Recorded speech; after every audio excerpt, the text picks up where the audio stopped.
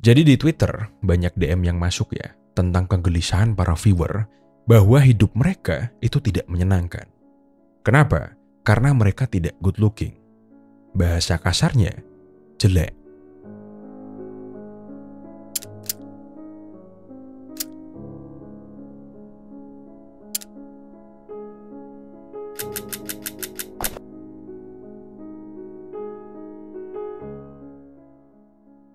Dan ternyata banyak dari mereka yang sengaja belajar ilmu manipulasi dari saya untuk bisa mendapatkan lawan jenis.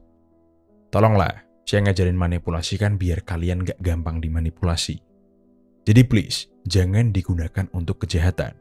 Masa kalian udah jelek, terus cabul juga. Saya sendiri juga punya temen yang gak good looking ya. Dulu waktu kita berdua lagi di usia-usia yang seharusnya menikah, kita memilih untuk gak menikah dulu. Saya sendiri karena saya pengen ngejar karir, dan teman saya karena emang dia gak laku aja.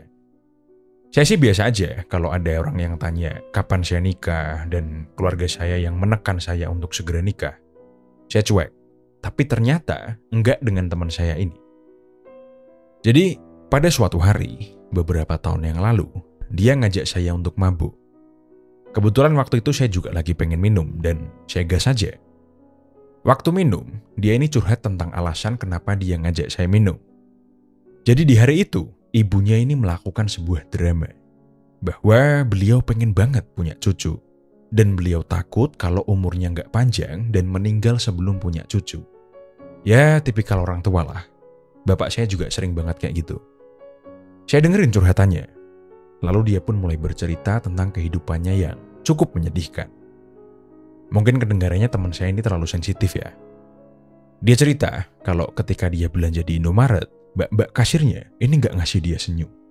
Padahal menurut dia, pelanggan sebelum dia itu dikasih senyum.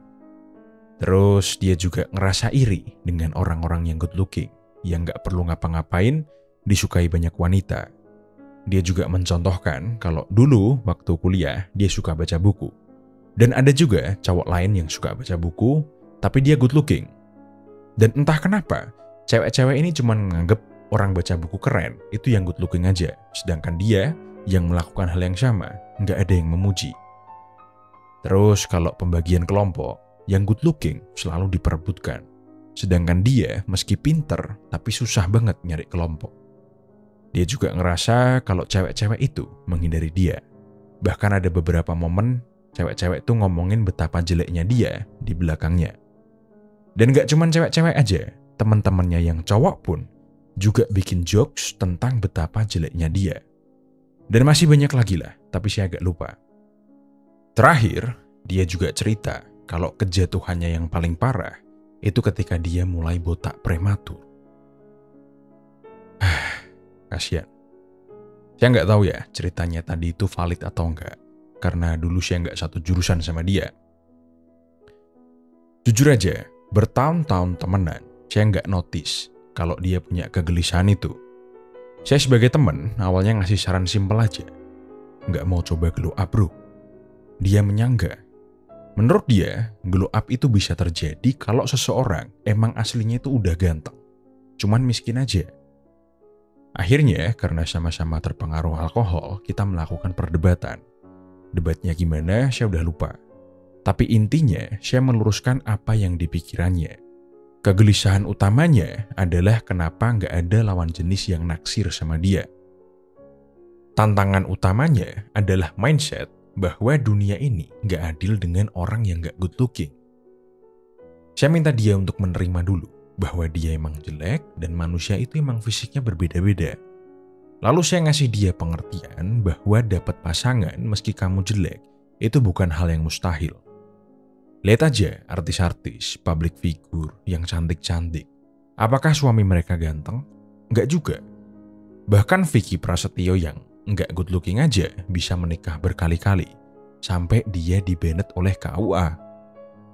Saya tekankan juga sama dia bahwa teman-teman kami yang enggak good looking juga bisa menikah dan istrinya juga cantik-cantik. Memang, faktanya beauty privilege itu emang ada Cowok ganteng tapi brengsek disukai banyak perempuan. Sedangkan cowok baik tapi jelek gak disukai banyak perempuan. kenyataannya emang seperti itu. Tapi, kan selalu ada anomali dari suatu hal. Bukan hal yang mustahil untuk kita bisa dapat pasangan meski kita jelek. Caranya adalah dengan mengeksploitasi anomali itu tadi. Manusia itu makhluk yang kompleks, emosional, dan penuh dengan ego. Bayangkan kamu perempuan, apakah kamu mau menikah dengan laki-laki yang seperti dirimu sekarang? Coba pikirin dulu. Banyak sekali kasus di mana waktu muda perempuan itu suka dengan cowok yang ganteng. Lalu mereka menikah, dan setelah menikah kelihatan bahwa cowoknya itu nggak bisa diandalkan, nggak bisa nyari duit, nggak bisa memberi cinta, nggak bisa memberi rasa aman, nggak bisa memberi rasa nyaman, dan nggak bisa jadi pemimpin yang baik. Lalu apakah para perempuan ini menyesal? Ya kalau udah sadar, mereka nyesel. Gak cuman perempuan aja, laki-laki juga seperti itu. Dia milih menikah dengan cewek yang cantik, yang tobrut, tapi setelah menikah, istrinya gak pernah puas. Gak bisa mengerti, selalu membanding-bandingkan, berisik, rewel, banyak menuntut, dan sebagainya. Dan apakah para laki-laki ini menyesal? Ya mereka nyesel. Lalu apa intinya pak? Kalau kita berada di situasi yang disadvantage atau di situasi yang tidak menguntungkan, kita harus bisa mengeksploitasi atau mengakali rules dan aturan yang ada. Dalam kasus ini, teman saya kan jelek. Saya minta dia untuk milih dua dari tiga hal. Kamu mau unggul di harta, badan yang bagus, ilmu yang banyak, atau kekuasaan? Berarti empat ya. Dia milih harta dan badan yang bagus. Teman saya ini waktu itu kalau nggak salah ya, kerja jadi bagian legal di perbankan. Berarti dia punya duit kan? Terus tanpa dia sadari juga, dia ini aslinya orang yang pinter, berwawasan luas. Berarti dia cuma perlu fokus untuk bentuk badan yang bagus saja. Sebelum saya lanjut, pasti kalian penasaran kenapa saya minta dia untuk milih beberapa pilihan. Dari yang saya contohkan tadi, tentang orang-orang jelek, tapi pasangannya cakep-cakep.